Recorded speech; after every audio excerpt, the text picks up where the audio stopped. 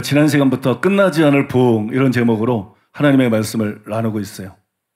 자, 끝나지 않을 부흥에 대해서 하나님께서 우리 교회에 대해서 선포하시고 말씀하시고 새로이 그런 비전을 주셨는데 우리가 기도하면 망하게 내버려 두지 않을 겁니다. 뭐 누가 대통령이 됐든 뭐 나라가 어떻든 국민이 어떻든 우리가 깨어서 기도하면 하나님께서 지켜 주실 것입니다. 참 가만히 생각해 보면 신기하지 않아요? 전 우리나라 너무 작아요. 너무 답답해. 우리나라에만 살 때는 모르지만 해외 좀 다녀보면 우리나라는 이건 진짜 어? 너무 작아. 근데 요 조그만 나라가 그 중국에 붙어 있다. 저 대국에 붙어 있다.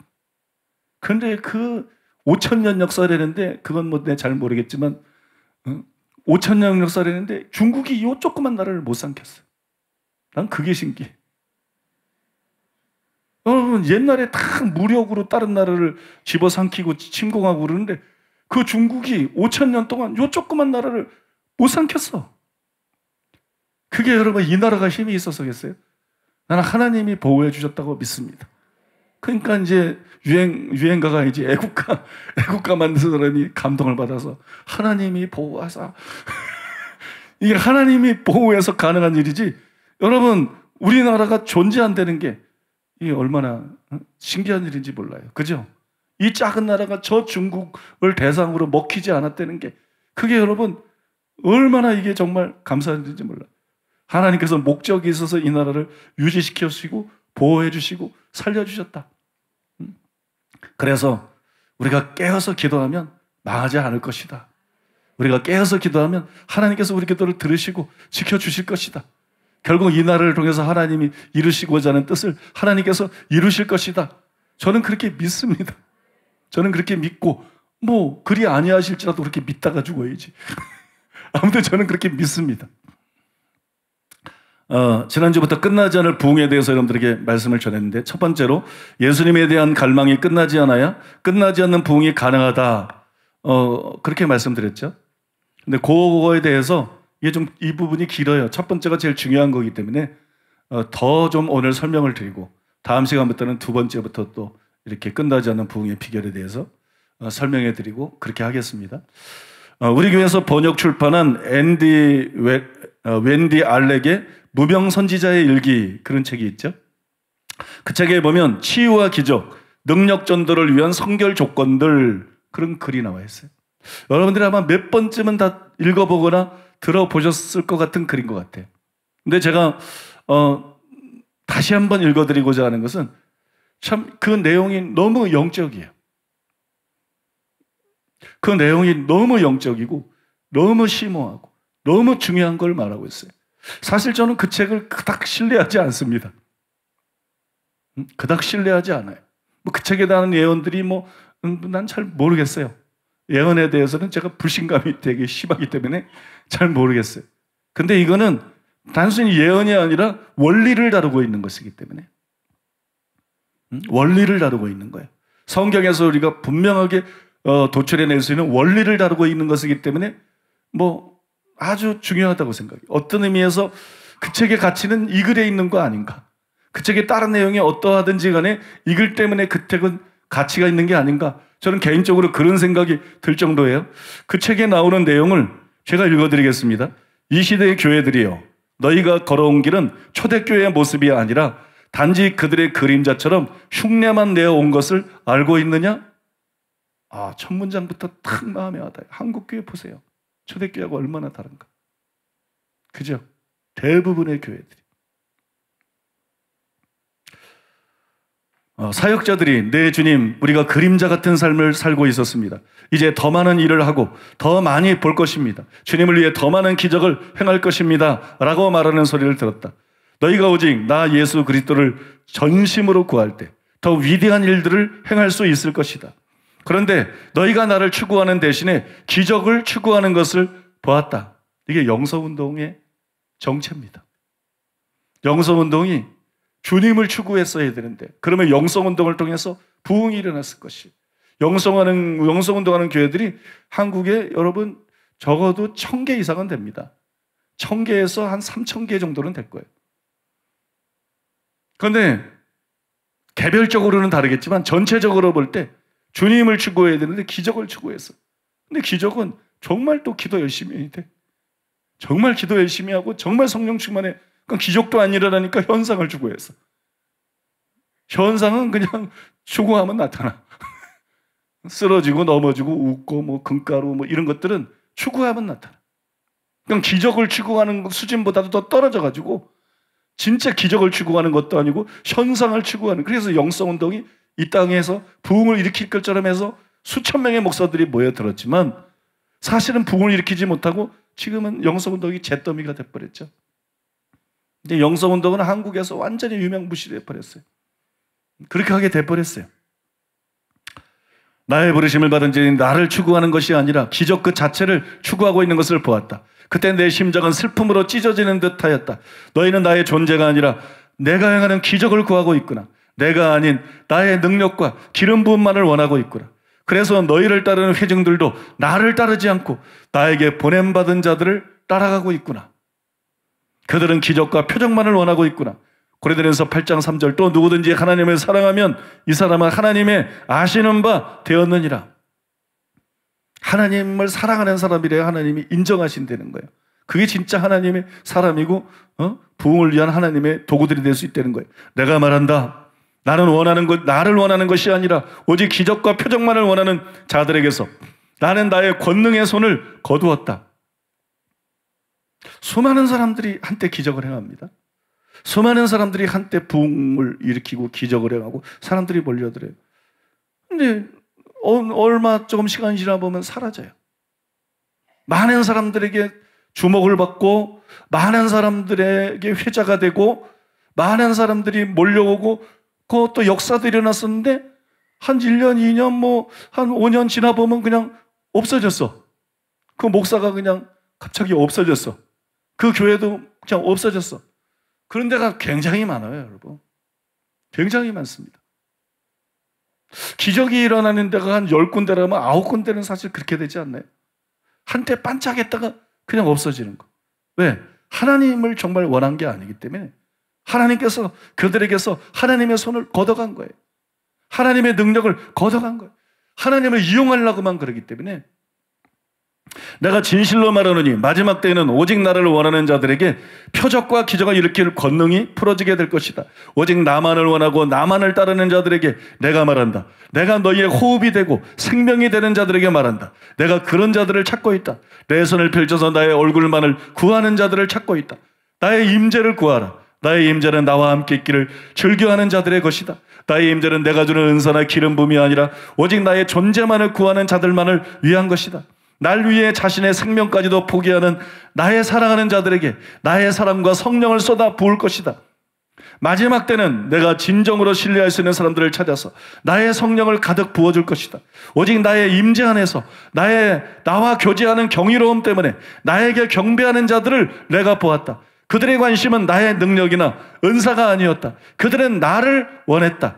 그런 귀한 영혼들에게 나의 권능의 손을 펼쳐서 나의 성령을 한량없이 쏟아 부어줄 것이다. 내가 그들을 일으킬 것이고 그들은 나의 불꽃이 되어 나의 말을 열방에서 선포할 것이다.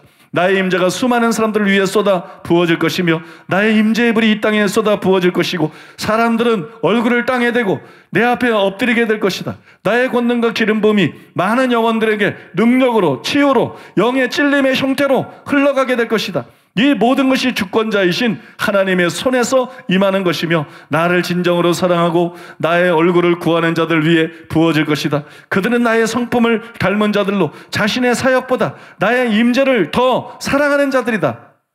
나의 통로로 쓰임 받는 일보다 나와 함께 거하기를 더 갈망하는 자들이다.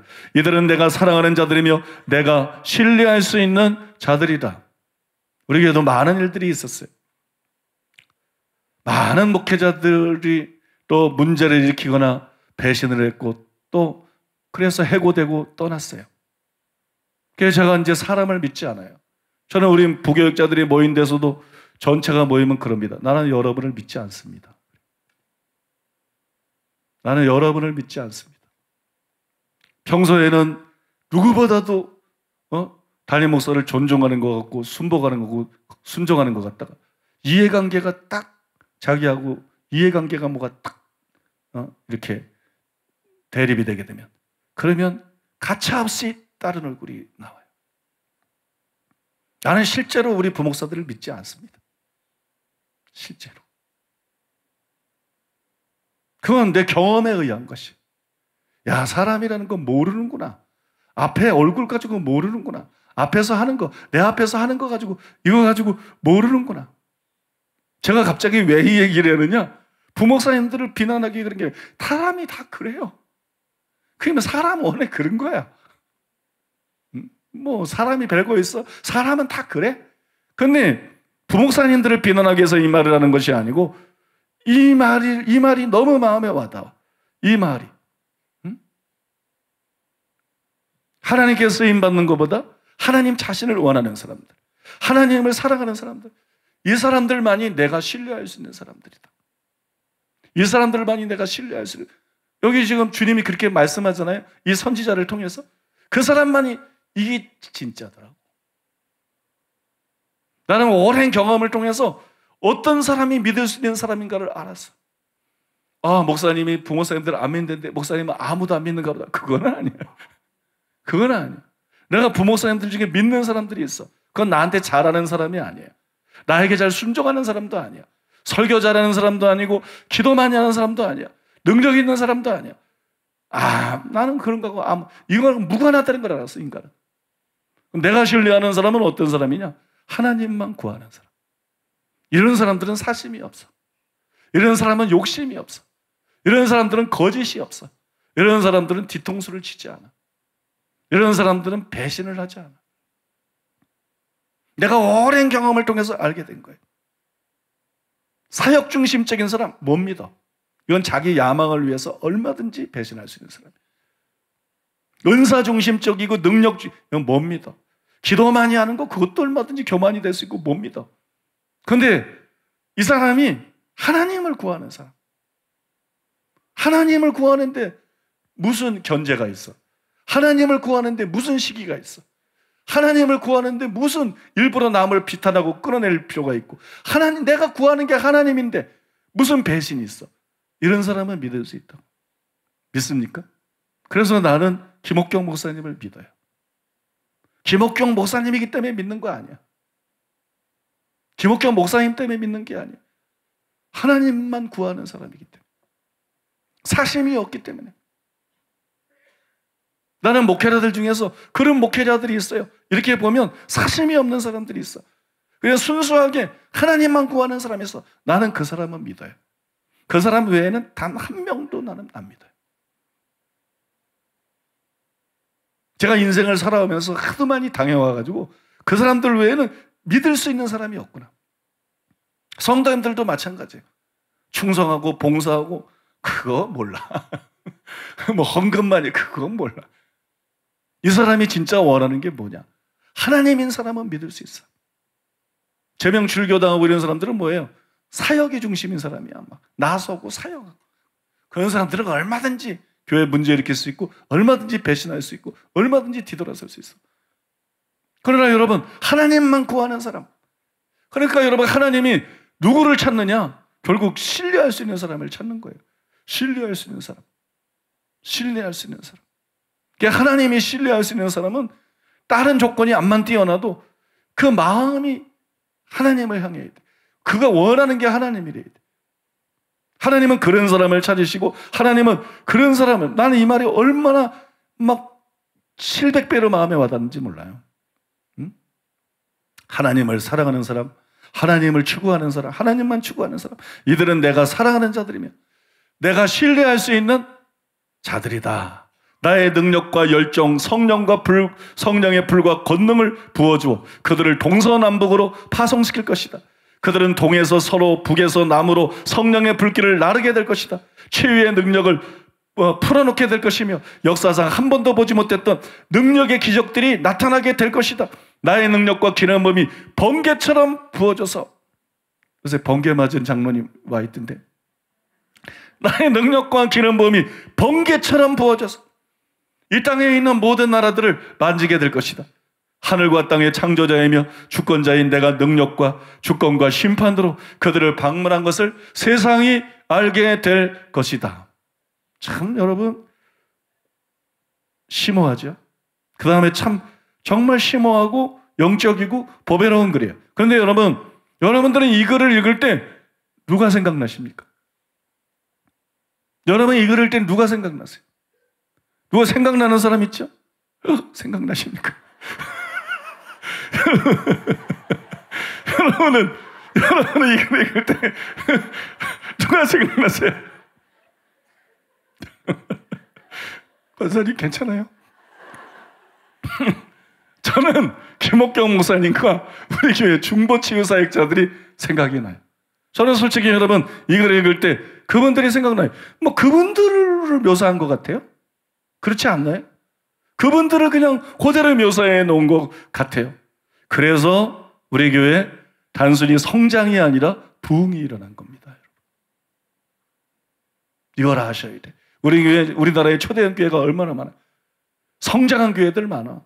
몇십만으로, 뭐, 근데 부흥하고 있는 교회들은 굉장히 소수예요. 초대형 교회 중에서 성장한 교회지, 부흥, 부흥은 사람이 많이 모인다고 부흥이 아니에요. 부흥은 하나님의 방문인 거예요. 하나님이 임재하셔야 부흥인 거예요. 부흥은 목사가 잘 설교 잘한다고 부흥이 아니에요. 부흥은 하나님 성령이 역사하셔야 부흥인 거예요. 여러분 믿습니까? 우리 교회는 성장한 게 아니에요. 우리 교회는 부흥이 일어난 것이에요.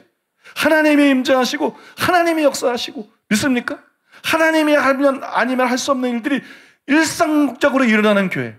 이거는 여러분 부흥의 역사인 것입니다. 부흥의 역사. 그러면 왜 우리 교회에 이런 부흥이 일어나느냐? 아니 사랑의 교회도 부흥이 안 일어나는데 영락교회도 소망교회도 어? 온누리교회도 부흥이 안 일어나는데 왜 우리 교회 그 음해를 받고 있는데 우리 교회 부흥이 일어나느냐? 그거는 여러분 구성 멤버들이 그들과 다르기 때문이에요.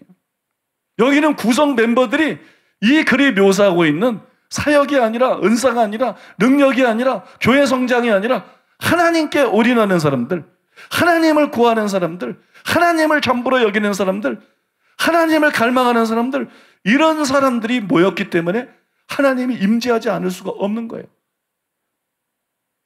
그래서 여러분, 부흥이 우연히 일어나는 것이 아니고, 그래서 부흥이 일어난 것입니다. 저는 이 설교를 준비하면서 깨달았어요. 제 영에 성령께서 이렇게 말씀하시는 음성을 들었어요. 너희 교회는 부흥이 일어날 수밖에 없는 교회다. 너희 교회는 부흥이 일어날 수밖에 없는 교회야. 왜냐면 너희 교회 구성원이 그래. 너희 교회 영적 DNA가 그래. 하나님을 찾고 하나님의 얼굴을 구하는 교회야. 그래서 내가 방문할 수밖에 없는 교회야. 너희 교회는 부흥이 일어나는 것이 부흥이 안 일어나는 것이 불가능한 교회다. 너희 교회는 부흥이 안 일어나는 것이 불가능한 교회다. 음? 여러분 성령님이 제가 그렇게 말씀하시는 걸 제가 들었어요.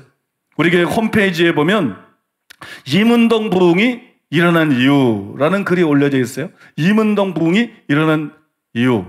읽었어도 또 읽어드립니다. 알아도 또 읽어드립니다. 이문동 부흥이 일어난 이유. 여러분, 이문동의 부흥이 왜 일어난 줄 아십니까? 이문동의 부흥이 임했던 이유가 있습니다. 우리가 부흥에 대해 무지했음에도 불구하고 우리에게 부흥이 임한 중요한 이유를 하나님께서 이번에 말해 주셨습니다. 너희는 사랑을 동기로 기도했다. 너희는 사랑을 원해서 매일 그렇게 나에게 울부짖었다. 하나님을 사랑하고 싶어서 하나님의 사랑으로 세상을 사랑하고 영혼들을 사랑하고 싶어서 내 가족을 사랑하고 싶어서 내 이웃들을 사랑하고 싶어서 정말 하나님이 기뻐하는 것이 그것이기 때문에 사랑이기 때문에 하나님을 사랑하고 이웃을 사랑하는 것이 하나님께서 가장 기뻐하는 일이기 때문에 그것을 소원하며 그것을 목적으로 너희가 매일 울었기 때문에 너희가 부흥을 경험하게 된 것이다. 그것을 이번에 말씀해 주셨는데 정말 그것이 실제였어요. 저희는 다른 목적이 없었어요.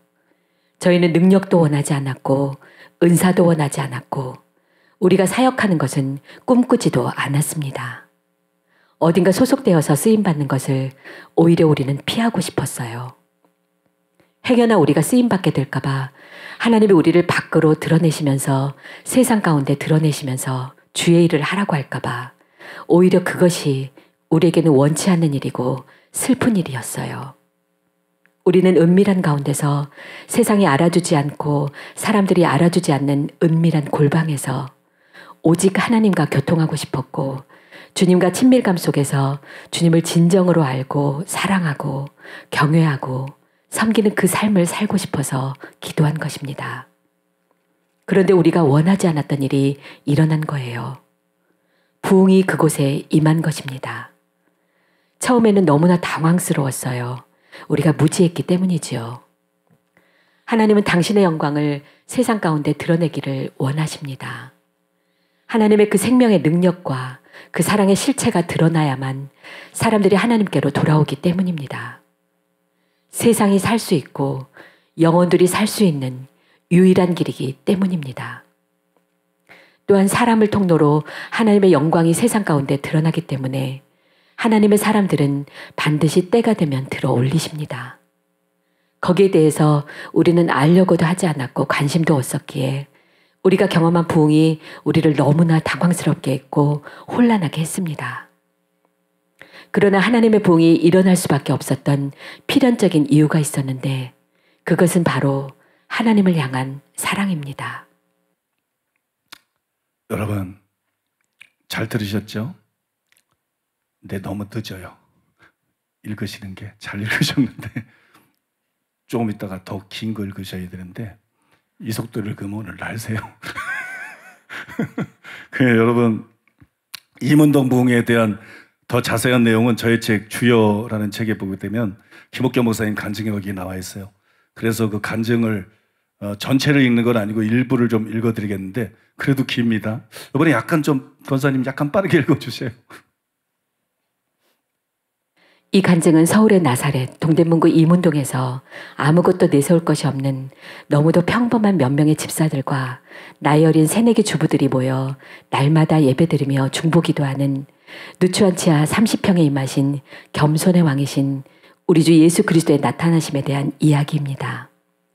초라하고 무능한 무명의 아줌마 성도들을 사용하여 놀랍고 아름다운 일을 행하신 예수님의 행전이며 또한 자기밖에 모르던 철없던 주님의 신부들이 신랑 대신 예수님의 지고지순한 사랑에 감격하여 그분의 심장에 들어가 함께 아픔과 고통을 나누며 통곡한 눈물의 여정입니다. 이 간증을 읽으시는 모든 분들이 모든 인류의 유일한 사랑이시고 위대한 왕이신 예수님을 더욱 갈망하고 사랑하게 되기를 간절히 소원하며 이 글을 시작합니다. 저희는 여러 해 동안 모일 때마다 늘 민족 복음화와 이 나라의 번영을 위해 나라의 여러 문제들을 가지고 해결될 때까지 구체적으로 중보하며 강구하였습니다. 그런 중보의 과정을 통해 저에게 애국 애족의 마음이 증가되고 깊어지면서 예언적인 중보가 저에게 임하여 무엇을 어떻게 중보해야 하는지를 알게 하셨습니다. 실제로 기도를 통해 태풍의 진로가 바뀌거나 약화되거나 자연 소멸되기도 하고 때로는 나라의 많은 어려움들과 문제들이 강구했던 내용대로 응답되어 해결되는 것을 매스컴을 통해 확인케 되는 일이 여러 번 있었습니다. 그럴 때 저희는 기뻐하며 주님을 찬양하였고 중보의 기름 부음이 더욱 강력하게 부어졌습니다. 그러던 가운데 저희는 2003년 5월경에 우연히 토미 테니 목사님의 책 하나님 당신을 갈망합니다를 접하면서 충격을 받고 심각하게 회개하기 시작했습니다. 나름대로는 진심으로 주님을 사랑하기를 원하였고 기쁘시게 해드기를 원하였지만 실상은 자신을 더 사랑하고 아직도 마음이 세상에 있는 것을 깨달았고 무엇보다도 주님은 지금도 살아 역사하시는데 우리 가운데 그 살아 역사하심이 나타나지 않는 것이 너무 부끄럽고 안타까웠습니다. 이 책에 임한 하나님의 나타나심은 저의 영을 돌파하여 들어와 우리로 하여금 겁없는 도전을 하게 하였습니다. 저희는 모든 기도 제목을 내려놓고 악하고 강팍한 마음에서 돌이켜 주님께 순수한 사랑을 드리기를 원하였고 겁없이 모세처럼 주님의 영광을 보기를 원하며 참 회개의 눈물로 울부짖기 시작했습니다. 저에게 임한 이 회개 영은 강력한 힘으로 강타하여 저희 심령 속 깊이 감춰진 죄악들을 낱낱이 구체적으로 드러내셨고 저희의 눈에는 눈물 마를 날이 없었습니다. 그때부터 시작된 이 눈물의 행진은 여전히 서울 사랑하는 교회 성도들과 함께 지금도 계속되고 있습니다. 시간이 흐를수록 주님의 임재에 대한 갈망, 그분의 얼굴을 뵙기를 원하는 갈망이 저에게 물붓듯 부어졌습니다. 무엇보다도 저희는 진심으로 주님을 사랑하고 싶었고 주님을 알고 싶었습니다. 그 당시 저희 모임의 대부분은 주로 임산부와 수유부들이었기 때문에 아침부터 울기 시작하여 점심 먹는 것도 잊어버리고 오후 서너 시까지 이어지고 나중에는 이 각성의 눈물이 대여섯 시까지 그칠 줄 몰라 저는 이들이 실신하여 119에 실려가게 될 것 같아 불을 켜고 기도를 중단시켜야 했습니다. 그러던 어느 날 저희들의 모임에 나를 간절히 찾는 자가 나를 만날 것이라는 약속대로 정말로 주님이 오셨습니다. 너무나 겸손하신 주님께서 보잘 것 없는 저희의 초청에 위대한 사랑으로 응답하셨습니다. 거룩하고 어미하신 성령의 임재에 갑자기 사람들이 쓰러져 몇 시간씩 일어나지 못했고 칼에 찔린 듯 비명을 지르며 온몸으로 뒹굴고 울며 회개하고 몸에 진동이 와서 떨기 시작하고 환상을 보고 사로잡혀 누워서 주님의 말씀을 대언하거나 입신하며 거룩한 웃음이 터져 배를 잡고 구르기도 하는 이전까지 전혀 일어나지 않았던 새로운 현상이 나타나면서 저희는 어찌할 바를 몰라 당황했습니다. 이런 일은 찬양 시간이든 설교 듣는 중에든 기도하는 가운데든지 아무 때나 무시로 일어나 우리 예배는 모든 정교적인 형식이 박살나고 찬양하고 춤추고 울고 웃고 때론 심각하게 말씀 앞에 탄식하고 때론 고요한 임재로 안식하는 듯 저희가 전혀 예상치 못한 성령님이 연출하시는 하늘의 예배로 변하게 되었습니다. 저희는 영성 집회 한번 가본 적 없는 촌뜨기들이어서 이런 일에 너무나 무지했기에 잘못된 줄 알고 더욱 성령님께 저희를 바르게 이끌어 주시기를 구하며 더 깊은 회개와 거룩과 자아의 죽음을 원하고 원하였습니다. 그러나 저희는 저희들의 심령이 변화되어 하나님을 경외하는 마음이 증가되고 죄를 심상히 여기는 것이 아니라 심각하게 죄에서 떠나기를 원하게 되고 진심으로 주님을 사랑하고 정결하여 거룩해 되기를 원하는 마음이 증가되어짐을 보게 되었고 멤버들의 삶이 바뀌는 것을 보고 안심하며 이 성령의 새 물결에 우리들을 맡기기 시작했습니다. 날마다 저에게 성령은 거대한 파도로 때론 강한 회로, 회오리 바람으로 때론 맹렬한 불꽃으로 임하셔서 저희들을 변화시키시기 시작하셨습니다. 살아계신 주님을 말과 귀로만 듣는 것이 아니라 실제적으로 눈으로 보고 손으로 만진 바가 되어 의심이 사라지고 의심으로 주저했던 신앙에서 적극적으로 주님의 나라에 침노하여 들어가는 자들로 바뀌기 시작했습니다. 어느 날은 모든 사람들이 일시에 넘어져 저만 남았습니다. 저희가 함께 통성으로 열심히 기도하고 있을 때 주님의 음성이 들렸습니다.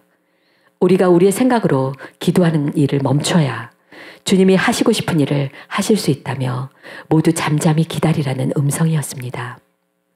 이 말을 듣고 모두 기도를 멈추고 주님께 집중하는 순간 이 일이 일어났습니다. 너무나 거룩한 주님의 임재에 제 심령이 녹아내리며 저절로 제가 극악한 죄인임이 깨달아져 한없이 울었습니다. 그때 주님이 저에게 오셔서 저를 일으키시며 너희가 나를 초청해 주어 너무 고맙다. 이렇게 말씀하셨습니다.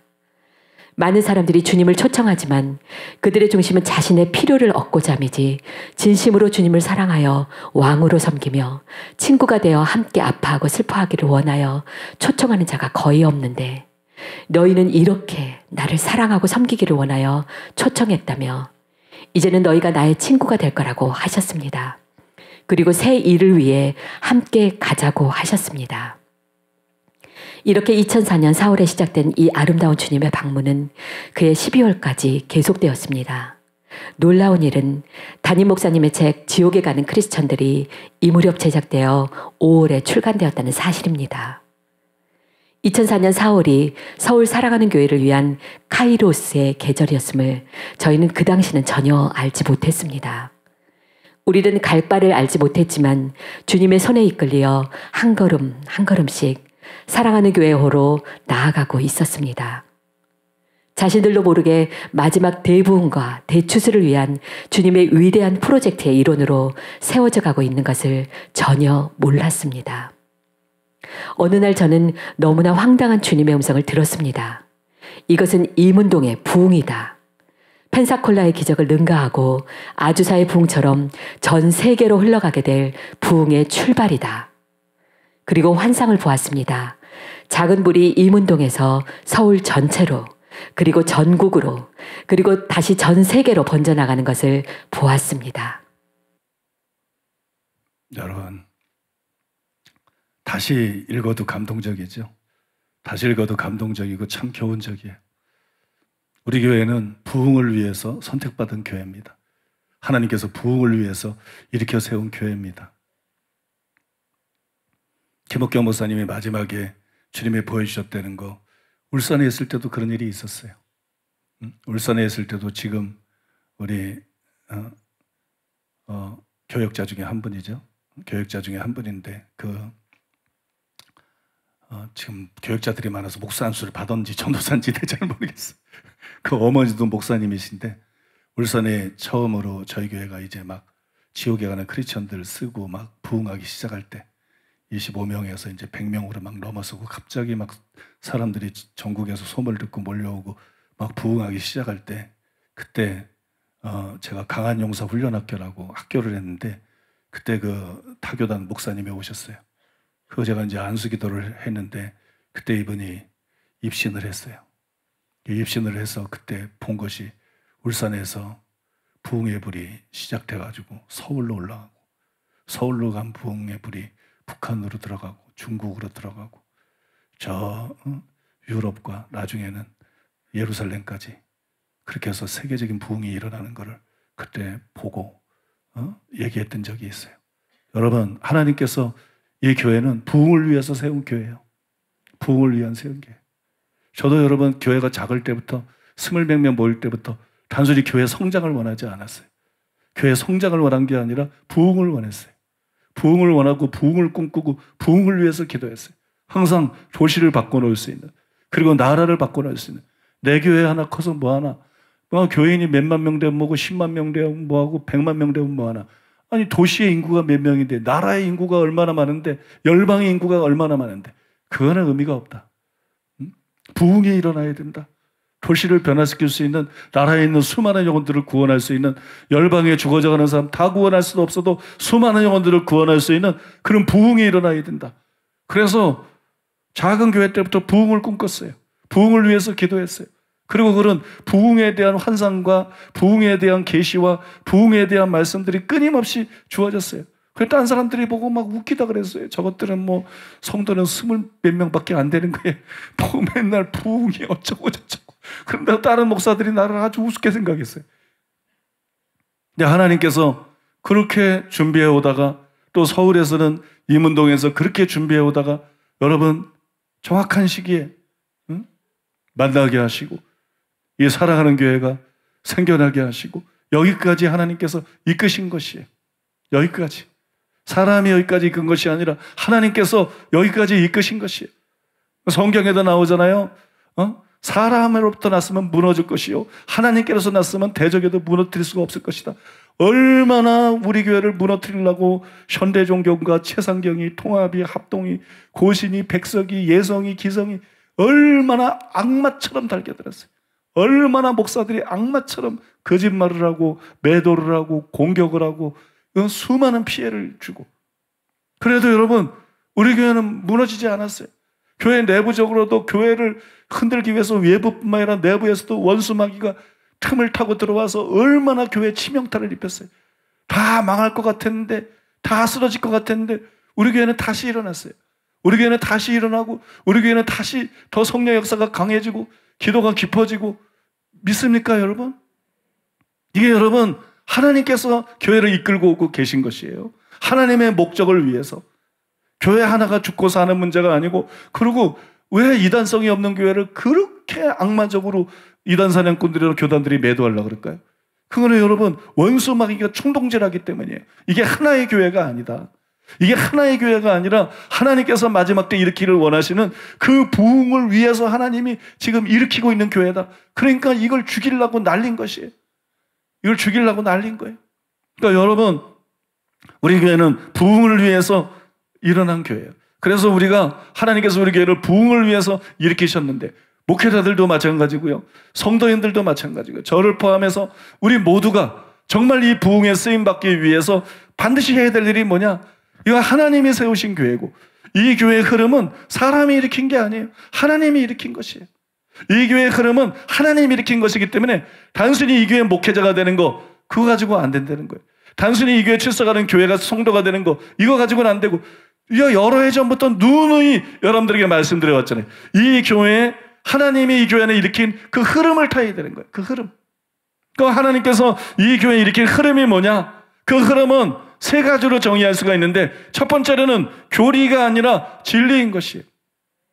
이 교회 안에서 말씀의 흐름을 일으킨 것은 세계적인 신학자들이 아니에요. 저도 아니에요. 저에게 계시하고 가르쳐 주신 성령님이세요. 이 교회의 교리가 아닌 진리의 흐름을 일으켰어요.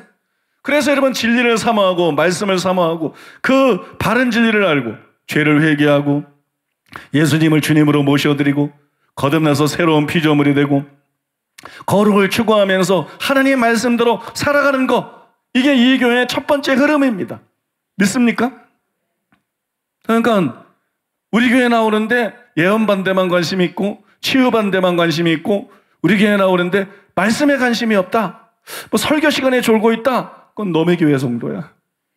우리 교회 성도가 아니야. 그건 사랑하는 교회 성도가 아니라 미워하는 교회 성도야. 응?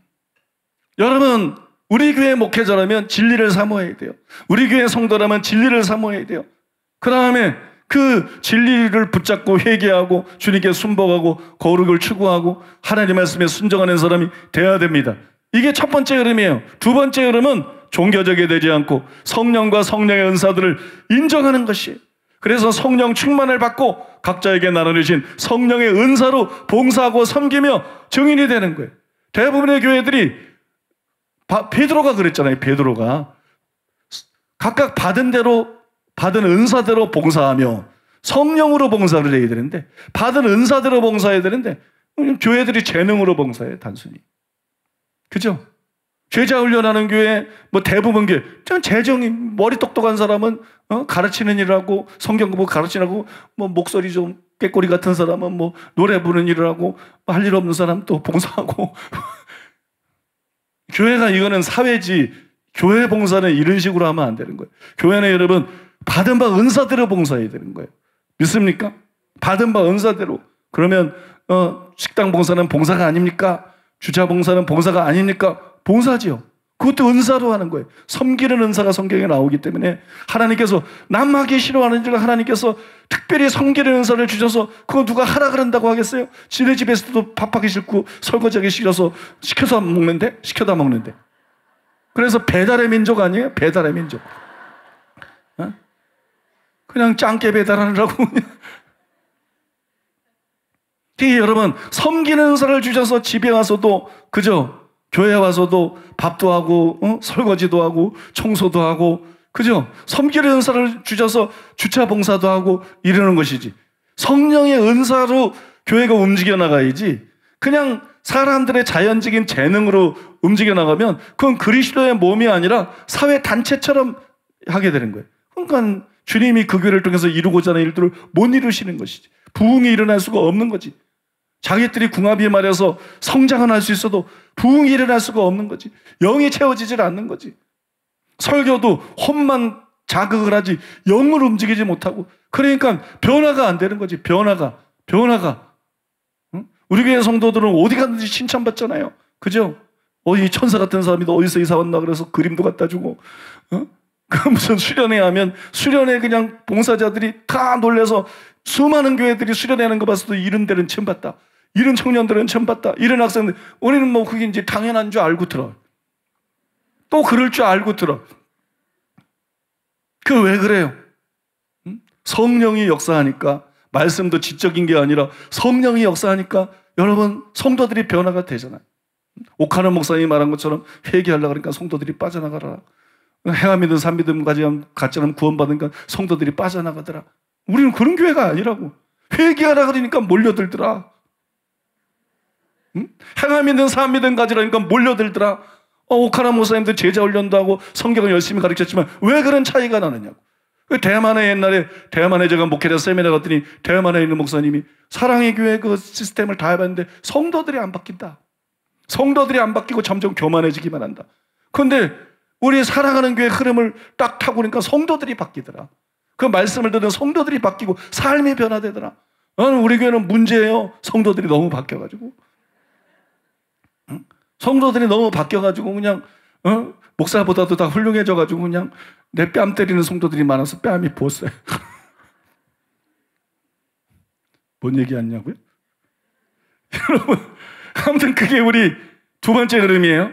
그 다음에 세 번째, 그리고 궁극적인 것. 기초적으로 제일 중요한 건 말씀이고, 궁극적으로 제일 중요한 건 말씀이 아니에요. 궁극적으로 제일 중요한 것. 그 우리 교회 흐름은 사역이나 성경을 목표로 삼지 않고 하나님 자신을 목표로 삼는 거예요. 하나님 자신을 목표로 삼는 거. 하나님을 사랑하고 하나님을 갈망하고 그 얼굴을 구하는 거예요. 자기 야망을 위해서 하나님을 이용하는 게 아니라 하나님을 위해서 자신을 헌신하는 거예요. 하나님의 뜻을 위해서 부흥을 위해서 영혼 구원을 위해서 자기를 하나님께 드리는 거예요. 이것이 여러분 성령이 우리 교회에 만들 흐름이고 우리가 평생을 타야 될 흐름인 거예요. 우리 교회 목회자라고 부흥을 위해 쓰임 받는 게 아닙니다. 이 흐름을 타야 쓰임을 받는 거예요. 우리 교회 성도들이라고 부흥을 위한 일꾼들이 되는 게 아니에요. 이 세 가지 흐름을 제대로 타야, 제대로 타야, 그래 여러분, 하나님께 쓰임 받는 거예요. 어, 제가 최근에 세 번째 흐름에 관한 한 가지라는 설교를 했죠. 한 가지라는 설교를 하고 어, 책으로 출판했습니다. 책에서 저는 다윗을 예로 들었어요. 다윗이 뭐 시인이요, 어, 음악가요, 또 그냥 어? 용사요, 그죠? 다윗이 아주 팔방미인이요. 각 분야에서 엄청난 그 정치가 선지자 이 사람 뭐 근데 이게 다 어디서 왔느냐?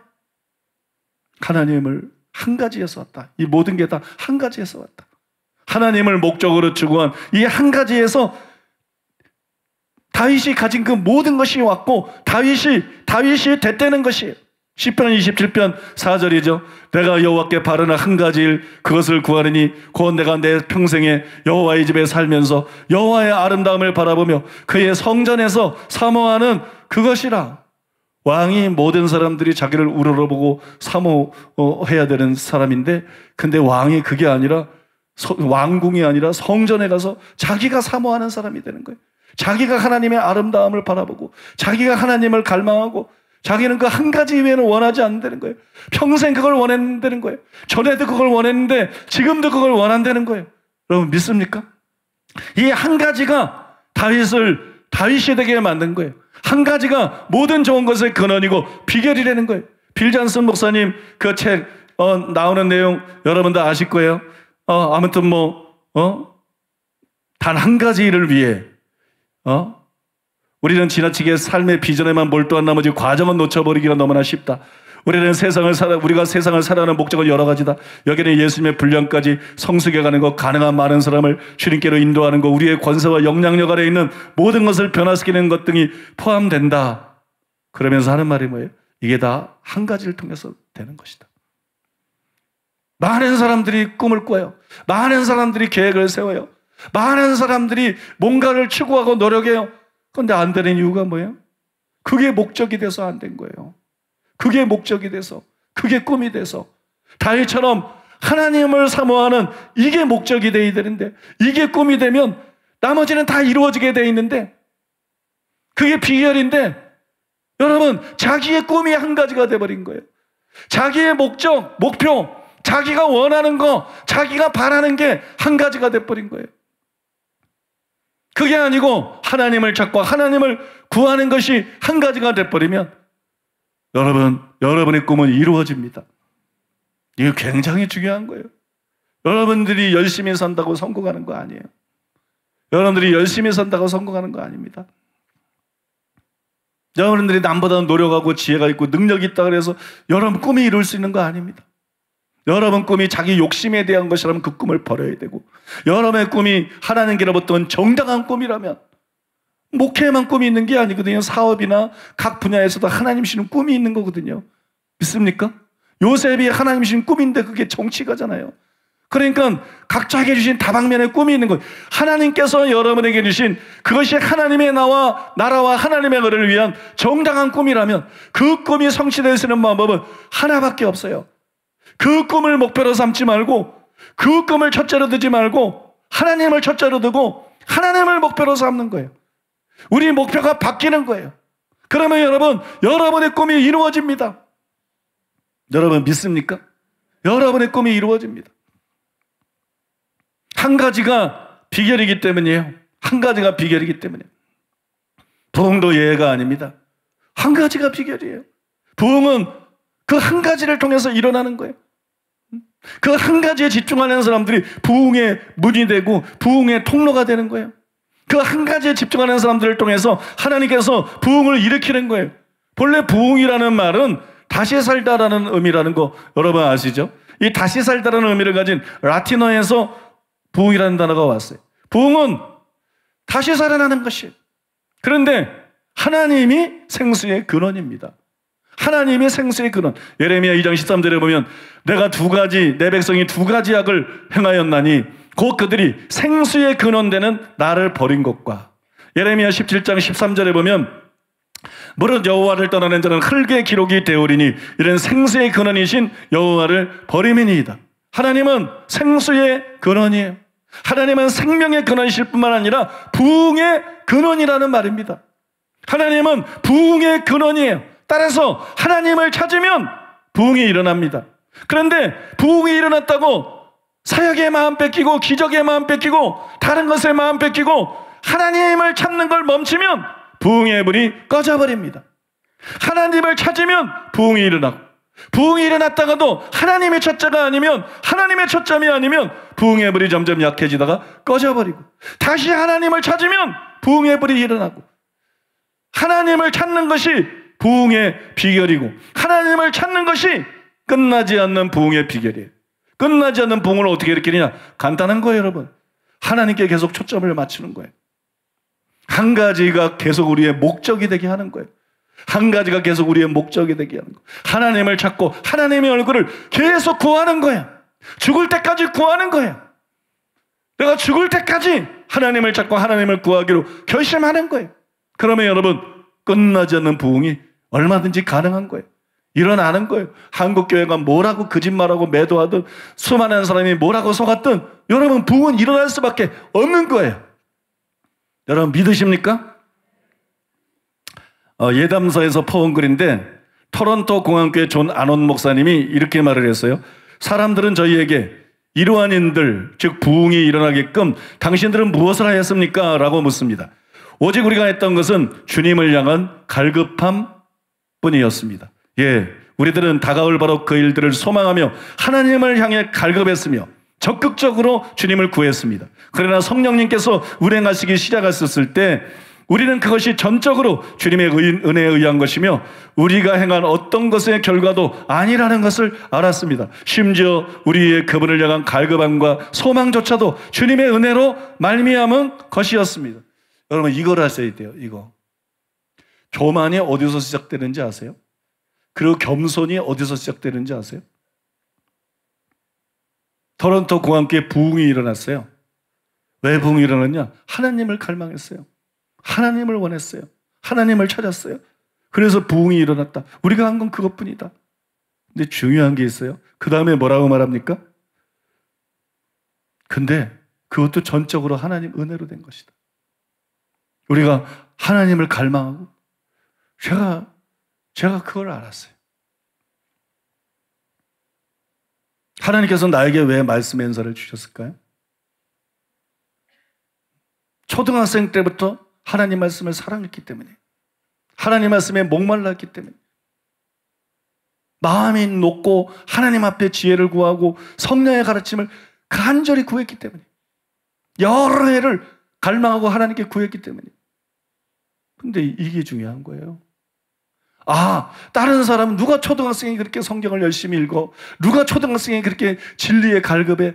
누가 그렇게 단순히 목사의 설교, 신학자들의 설교에 만족하지 않고 정말 성경에 말하는 진리가 무엇인지를 알기를 어렸을 때부터 항색 때부터 갈망하고 밥을 밥 먹는 걸 잃어가면서 성경을 읽고 학교에 성경책을 가져서 성경을 읽고 쉬는 시간에 성경을 읽고 자율학습 시간에 성경을 읽고 누가 그렇게 어? 누가 그렇게 하나님 앞에 어렸을 때부터 하, 하루 이틀도 아니고 여러 해를 어, 마음을 물 쏟듯이 쏟으면서 녹아져서 하나님 앞에 성령이 가르쳐 주시자면 안 된다고 하나님만이 나의 희망이라고 지혜를 달라고 말씀에 대한 분별력을 달라고 말씀을 깨닫고 이해하게 해달라고 그렇게 기도해 하나님이 나의 내가 어렸을 때부터 이렇게 했기 때문에 하나님께서 나에게 이런 말씀 엔서를 주셨고 지혜를 주셨고 그래서 내가 이런 설교라는 게 가능하고 이런 책들을 쓰는 게 가능하다. 그러면 교만해지는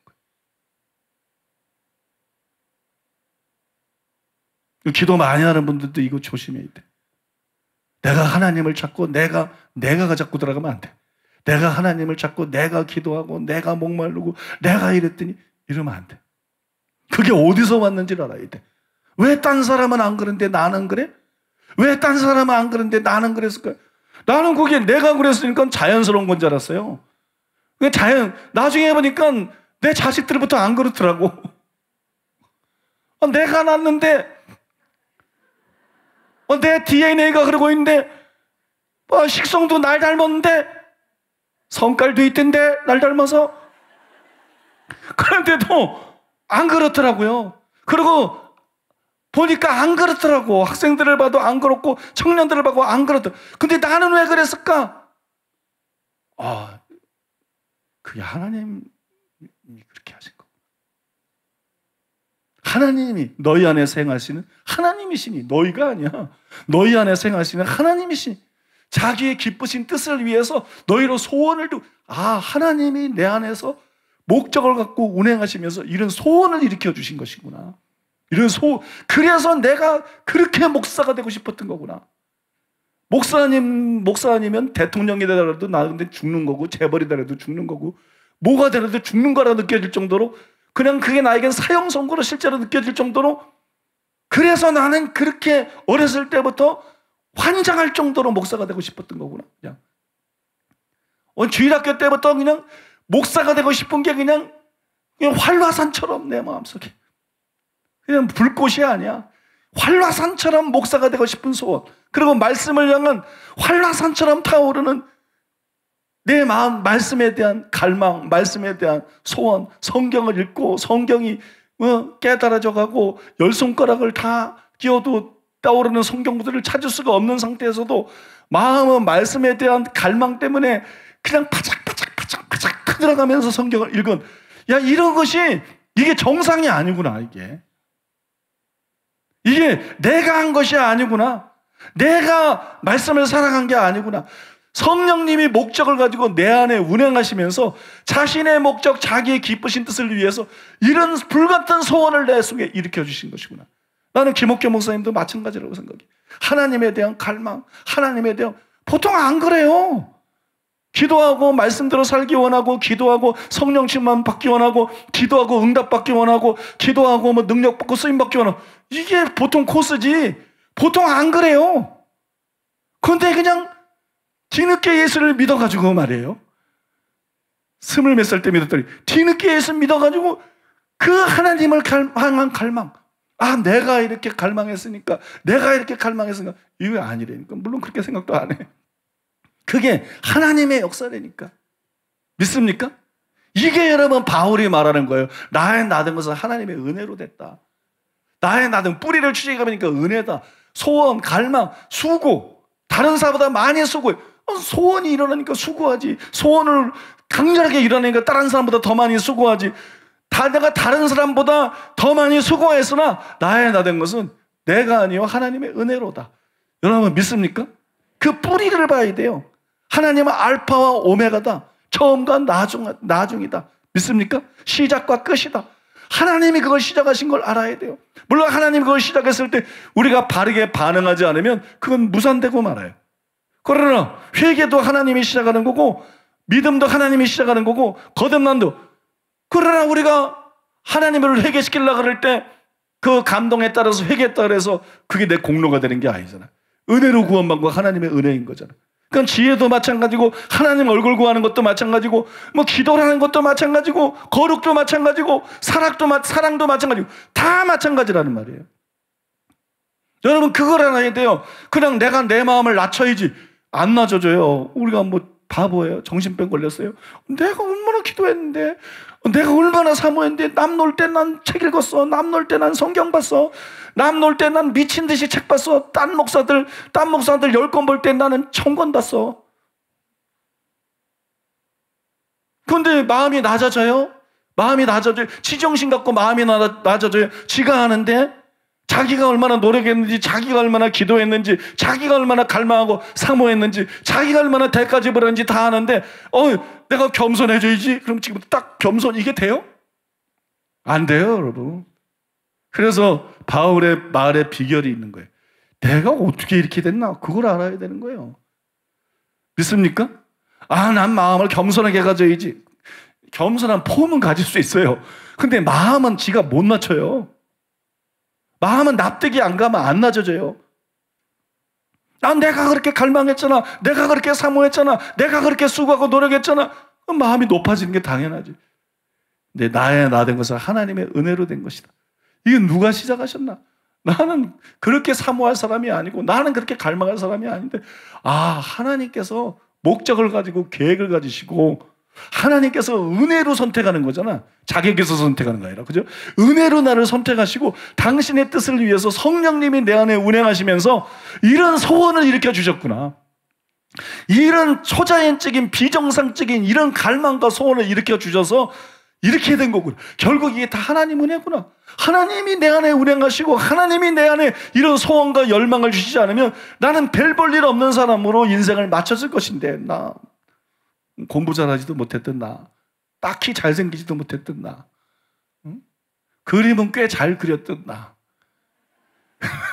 그러나 수채화에 관심이 없었던 나, 미술계도 종교적이기도 결국은 유화를 그리는 건데 학생들한테 자꾸 수채화를 요구하거든. 근데 수채화는 나하고 안 맞아. 왜? 수채화는 사기거든요. 어떤 의미에서. 수채화는 보이는 대로 그리는 게 아니고 수채화는 색깔을 불투명 색깔을 쓰면 안 되고 투명한 색깔만 써야 되고 이게 사실과 다르게 아름답게 꾸미면서 이게 또, 또 사실적으로 표현하면 근데 난 그런 게 나하고 안 맞는 거야. 난 정직한 사람인 거야. 아, 저땅 색깔이 저게 아닌데 왜 저렇게 이쁜 색깔 쓰냐는 거야. 아, 병 색깔이 저게 아닌데 왜 저렇게 이쁜 색깔을 쓰냐는 거야. 난 솔직히 그랬다니까. 그난 수채화 그린 거 보면 난 나는 수채화를 못 그리는 거야. 내 성품상. 나는 너무 정직한 거야. 나는 너무 정직해서, 아니, 저 보이는 대로 그려야지. 왜 저렇게 그려? 그래, 나는 수채, 나는 대쌍도 잘하고, 나는 유화도 잘하고. 여러분, 엄청 잘했어요. 엄청 잘했어요. 전국대회에 나가서 대상 타는 그런 고등학교 3학년 누나, 누나들하고 나는 처음으로 목탄 잡아가지고 처음 목탄 대상을 했는데 그 첫 작품으로 그들을 이겨버렸어요. 화, 화, 화실 선생이 깜짝 놀랐어요. 그래서 픽사티프 끓여가지고 보존해 둔다고. 나중에는 너 이제 너는 이제 저 조각상에 대해서 너는 이제 또 한번 똑같이 그려봐라. 저하고 똑같이 그려봐라. 그러고 그랬다니까. 근데 그게 아무것도 아니라고. 나는 세상 규정에 맞는 사람이 아니래가지고 수, 투명 수채화를 잘 못해. 불투명 수채화는 불투명 수채화를 하지. 유화 같은 불투명 수채화를 하고 그러죠.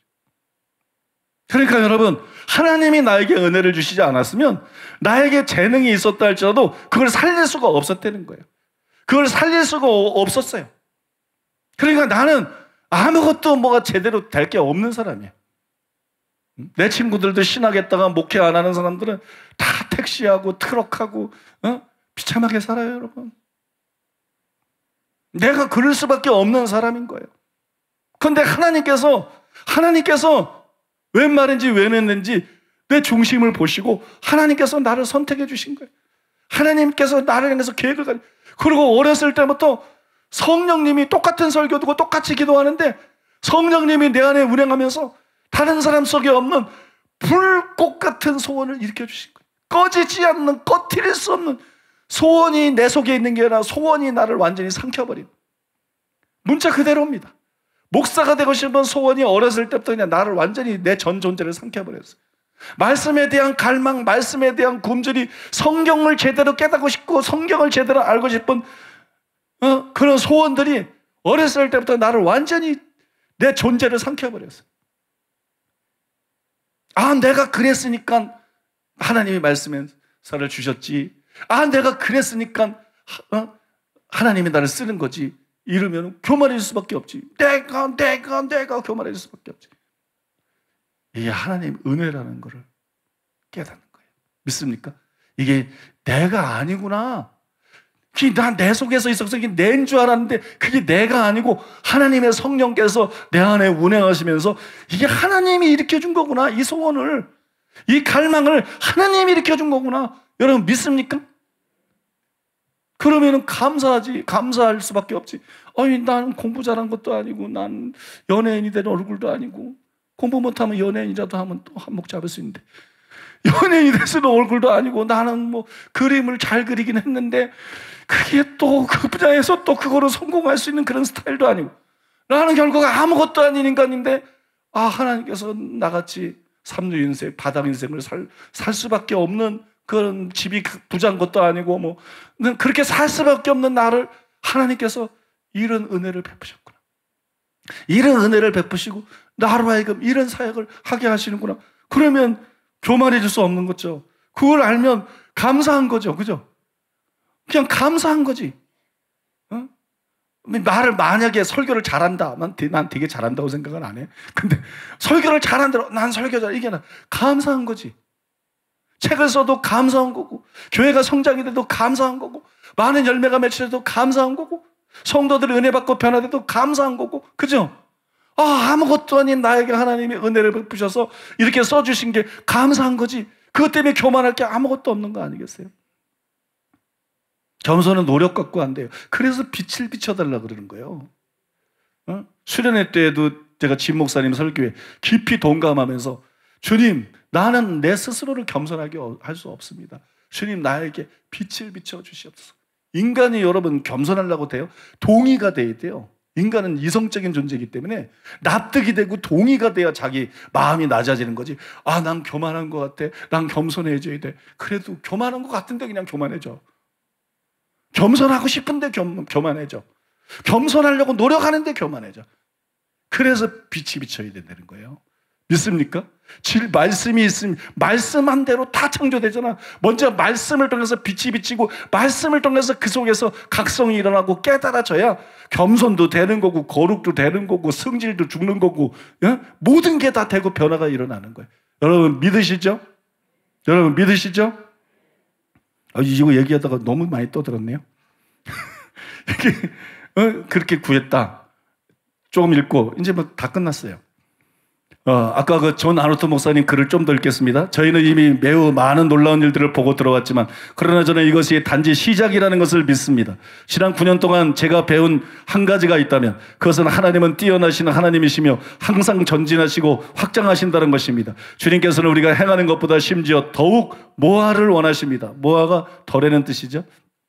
주님께서는 우리가 행하는 것보다 심지어 더욱 치유, 표적, 기사 등을 통해 그분의 능력이 나타나는 것을 보기 원하십니다. 따라서 지난 9년 동안 저희가 누려온 주님의 이 놀라운 임재의 강물을 잃어버림이나 줄어듦 없이 그 이상의 것에 대해 저희가 어떻게 준비해야 할까요? 우리가 어디에서부터 출발했는지 기억하십니까? 갈급함과 겸손함.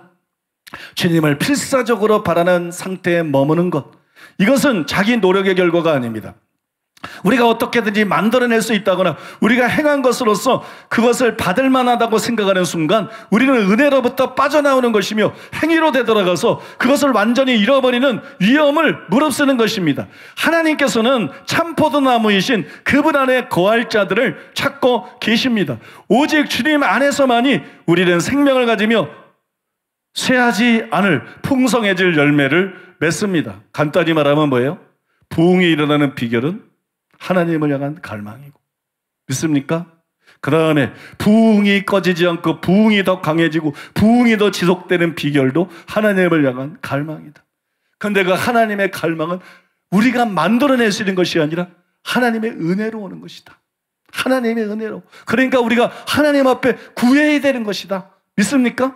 하나님에 대한 갈망을 우리 속에 일으켜달라고 하나님에 대한 갈망이 우리 속에서 식어지지 않게 해달라고 구해야 되는 것이다. 이제 음, 말씀을 좀 정리하겠습니다. 얼마 전에 제가 우리 교회에서 일어나고 있는 붕은 끝나지 않을 것이다. 그런 말을 했어요. 제가 그렇게 믿는 이유가 있어요. 왜냐하면 내가 김옥경 목사님을 오랫동안 지켜봤어요. 가까이에서. 내가 아는 김옥경 목사님과 치유사역자들은 하나님의 얼굴을 끝까지 구할 사람들이다. 거기에 대한 확신이 있기 때문에. 내가 아는 김옥경 목사님과 치유사역자들은 하나님의 얼굴을 끝까지 구할 사람이다. 사역이나 은사나 무슨 뭐 자리나 지위나 뭐 이런데 어? 인기나 이런데 마음 뺏기지 않고 여지껏 잘못된 목, 목회자들이 다 그런데 마음 뺏겨서 탈선하고 다 잘못됐어. 그게 아니라 하나님의 얼굴을 끝까지 구할 사람이다. 내가 김옥교 목사님이라서 이렇게 그냥 믿어주는 게 아니에요. 제가 요즘에 지교회에서 성의한 그 테이프들을 전부 다 들었어요. 하나도 빼놓지 않고 100%다 들었어요. 그 왜? 감시하려고 듣는 게 아니라 내가 은혜 받기 위해서. 내가 은혜 받기 위해서 참석은 못하게 하니까 부스러기라도 먹어야 되겠다. 그래서 이제, 어, 전부 한 편도 빼놓지 않고 다 들었어요. 제가 그 설교 때 하는 발언을 통해서 확신을 얻은 거예요. 그 설교 때 하는 그 발언을 통해서 전혀 만족하지 않는 하나님을 사랑하고 하나님을 갈망하지만 전혀 만족하지 않는 자기를 돌아보고 초심으로 들어가서 정말 하나님을 사모하고 하나님을 갈망하고자 하는 그 결연한 의지들이 그 설교의 두 번째 집회 설교가 거기에 그게 잘 나와 있더라고. 내가 그거를 쭉 들으면서 야, 이 사람은 끝까지 견눈질하지 않고 끝까지 죽을 때까지 그냥 하나님을 치고 할 사람이다. 그리고 이 사람의 지도하에 있는 중보 기도자들은 끝까지 하나님의 얼굴을 구할 사람이다. 믿습니까? 끝까지 하나님 얼굴을 구할 사람들이다. 그러면 이 부흥은 마귀가 끝낼 수 없다. 그러면 이 부흥은 교계가 뭐라고 음해해도 끝낼 수 없다. 그러면 이 부흥은 사람이 끝낼 수 없다. 그러면 이 부흥은 계속될 것이다. 끝나지 않는 부흥이 될 것이다. 김옥경 목사님이 죽고 사역자들이 죽어도 똑같은 사람들의 다음 세대를 길러낸다면 이 흐름이 끊어지지만 않는다면 이 부흥은 누구도 끝낼 수 없는 부흥이 될 것이다. 시작은 미약해 보였지만 끝은 정말 창대케 될 그런 부흥이 될 것이다. 믿습니까? 그런 확신이 제 마음속에 논리적으로 이성적으로 제 마음속에 들어온 것이에요. 사랑하는 여러분, 저는 교회가 작을 때부터 부흥을 꿈꿨어요. 부흥을 원해 왔습니다. 부흥이 우리의 목표였어요. 울산에 있을 때, 그리고 하나님의 얼굴을 구하는 게 부흥의 가장 중요한 비결이라는 것도 알게 됐어요. 울산에서 목회하다가. 그때 마크 두퐁이나 어? 이런 하나님의 얼굴 구하는 걸 강력하게 강조하는 어? 그런 사람들의 책들이나 어? 설교를 많이 들으면서 그런 거를 깨닫게 됐어요. 그러고 난 다음에 그래서 제가 부흥을 위해서 단체를 하나 만들었어요. 스물네 명 모이는 작은 교회 때 단체를 목회자 내 주변에 는 목회자들을 교합해서 단체를 하나 만들었어요. 그 단체 이름이 뭐냐 아세요? 그 단체 이름? 그 단체 이름이 하나님의 얼굴을 구하는 사람들이에요. 그 우리 목회자 단체 이름이 하나님의 얼굴을 구하는 사람들. 거기 통합교단도 그, 그 교회가 제일 컸어요. 그 들어와 있었고 뭐 고신특 교회도 들어와 있, 목사도 나이 많은 들어와 있었고 뭐 다른 교단들도 뭐 백석에서도 들어와 있었고 성결교에서도 들어와 있었고 이렇게 목 순복음에서도 들어와 있었고 목사님들이 한 10여 명, 20명, 10여 명에서 한 20명 그렇게 모여가지고 제가 그 단체를 만들었어요. 하나님의 얼굴을 구하는 사람들.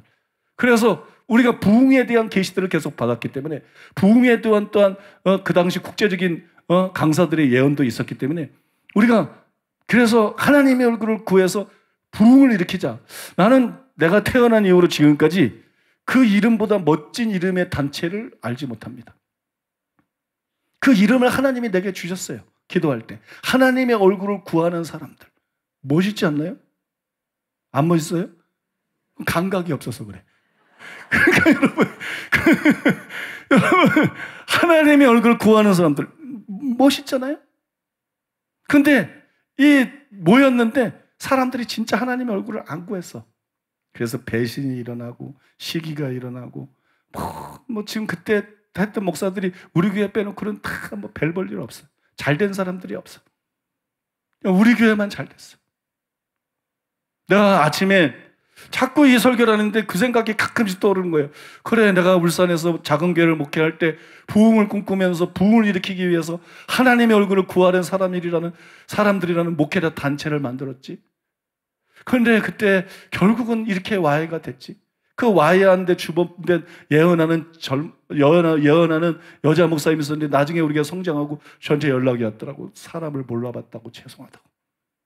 목사님이 이렇게 될 뿐인 걸 몰랐다고.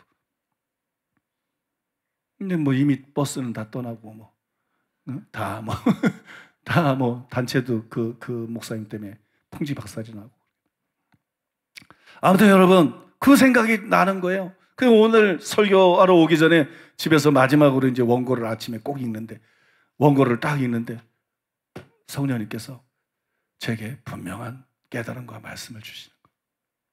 하나님의 하나님의 얼굴을 구하는 사람들 하나님의 얼굴 구하는 사람들, 네가 그 모임을 시작했지 않느냐? 너는 그 모임이 없어졌다고 생각하지? 사랑하는 교회가 바로 그 모임이야. 사랑하는 교회가 바로 하나님의 얼굴을 구하는 사람들이야. 사랑하는 교회가 바로 하나님의 얼굴을 구하는 사람들의 실제 모임이야. 이게 부흥을 위해서 내가 일으키기를 원한 모임이다. 이게 여러분 우리 교회 정체성입니다. 믿습니까? 하나님의 얼굴을 구하는 사람들. 저도 그래야 되고 모든 목회자들이 그래야 되고 여러분도 그래야 되고 하나님의 얼굴 구하는 사람들. 여러분 하나님의 얼굴 구하는 사람들 되십시다. 하나님의 얼굴 구하는 사람 되십시다. 죽을 때까지 이 한 가지 초점을 놓치지 맙시다. 하나님의 얼굴을 구하는 사람이 됩시다. 그러면 여러분 부흥이 더 강력해질 것이고 우리가 하나님 얼굴 구하면 구할수록 부흥이 더 강력해질 것이고 절대로 이 부흥이 끝나지 않을 것입니다. 믿습니까? 절대로 이 부흥이 끝나지 않고 끝나지 않는 부흥이 저와 여러분을 통해서 일어나서 결국은 여러분 허다한 영혼들을 구원하게 되는 하나님 마음 시원해드리고 하나님께 영광 돌리게 되는 그런 역사가 일어나게 될 줄로 믿습니다. 오늘 시간을 많이 겠지만 아니 괜찮아요. 요새 영화도 막 2시간, 3시간에 그죠? 그냥 좋은 영화, 영적 영화 한 편 봤다. 그지? 아, 시간이 벌써 몇 시야? 이러면 벌써 마귀가 틈타는 거야. 그러니까 좋은 영화 봤다. 그러고 이제 지금 이제 우리는 기도해야 돼요. 주님, 우리에게 빛을 비춰 주시옵소서. 그래서 우리가 참 나도 하나님 얼굴 구하려고 굉장히 노력해. 근데 잘 안 돼. 여러분, 그게 노력한다고 되는 게 아니야. 하나님의 은혜를 베푸셔야 돼, 그것도. 그 은혜로 되는 거야. 하나님이 은혜를 베푸셔야 되고 하나님이 빛을 비춰 주셔야 돼. 하나님의 성령께서 우리 안에 운행하시면서 그런 갈망을 일으켜 주셔야 돼. 믿습니까? 하나님, 나도 하나님을 찾는 사람 되기를 원합니다. 하나님, 나도 하나님의 얼굴을 구하는 사람 되기를 원합니다. 하나님 빛을 비춰 주시옵소서. 하나님 내 속에서 운행하여 주시옵소서. 내 속에서 하나님의 성령께서 소원을 일으켜 주시옵소서.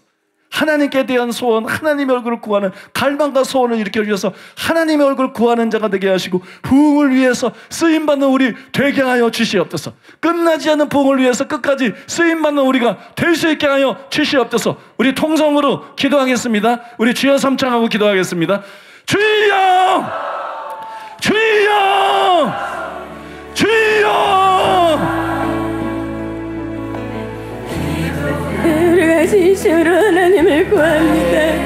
하나님 아버지, 나를 창조할 때부터, 나를 빚으실 때부터, 우리 하나님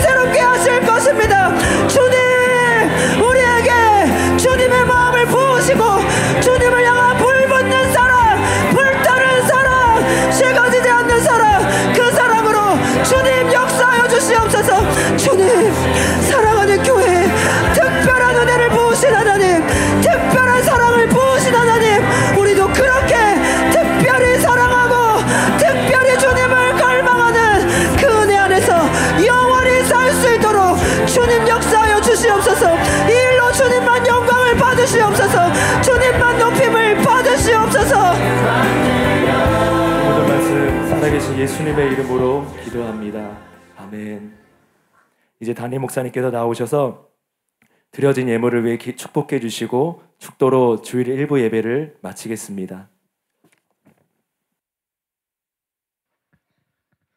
아버지 하나님 감사드리고 찬송드리고 찬양드리며 주님께 영광을 돌립니다. 모든 것이 하나님의 은혜입니다. 이 교회에 아버지 살아있는 진리가 있는 것도 하나님의 은혜입니다. 이 교회에 이와 같은 기도의 영이 있는 것도 하나님의 은혜입니다. 이 교회에 아버지 목회자와 성도들이 하나님의 얼굴을 이토록 구하는 것도 하나님의 은혜입니다. 이 교회 예언의 영이 임하고 이 교회 강력한 치유가 일어나는 것도 하나님의 은혜입니다. 이 교회에 아름답고 영감 있는 찬양이 있는 것도 하나님의 은혜입니다. 하나님께서 또한 이렇게 좋은 건물을 그 숱한 방해 속에서도 허락하시고 들어오게 하신 것도 하나님의 은혜입니다. 그 많은 공격과 방해 속에서도 음해 속에서도 이렇게 아름다운 성도들이 모여서 예배하고 교회가 건재하고 점점 건강해지고 점점 강해지고 있는 것도 하나님의 은혜입니다. 모든 것이 하나님의 은혜입니다. 우리가 부흥을 위해서 선택을 받은 것도 하나님의 은혜입니다. 부흥의 통로로 쓰임 받으신 것도 하나님의 은혜입니다. 모든 것이 하나님의 은혜입니다. 주님 감사드리고 찬송드리고 찬양드립니다. 그리고 아버지 우리가 감사한 마음으로 하나님 앞에 예물을 올려드렸습니다. 주일원금 11조 감사원금 각종 예물을 주 앞에 올려드렸습니다. 주님 영광 받으시고 높임 받아 주시옵소서. 주님 영광 받으시옵소서. 주님 예물 드린 사랑하는 성도들 예수님 이름으로 축복합니다. 재물 얻을 능력을 각 사람 손에 부어 주시옵소서. 심은 대로 성경대로 풍성하게 거두게 하여 주시옵소서. 부족함이 없게 하여 주시옵소서. 하나님께 부한 사람들 되게 해 주시옵소서. 선한 일에 부한 사람들 되게 해 주시옵소서. 구워주고 나누어지는 사람 되게 해 주시옵소서.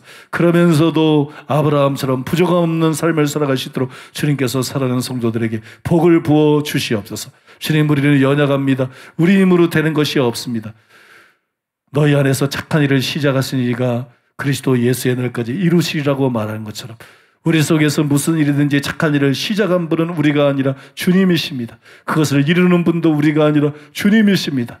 우리가 사도 바울처럼 아무리 많이 수고한다 할지라도 모든 것이 하나님의 은혜임을 이 시간에 하나님 앞에 고백합니다. 그래서 아버지 하나님이여 우리가 그것을 알기 때문에 은혜의 성령을 구합니다. 성령을 부어 주시옵소서. 성령으로 충만케 해 주시옵소서. 성령님 우리 안에 운행해 주시옵소서.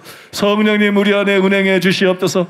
우리 속에 하나님 뜻에 합당한 소원들을 일으켜 주시옵소서. 우리 속에 하나님 마음에 아픈 소원들이 불같이 일어나게 해 주시옵소서. 뜨겁게 일어나게 해 주시옵소서. 화상같이 일어나게 해 주시옵소서.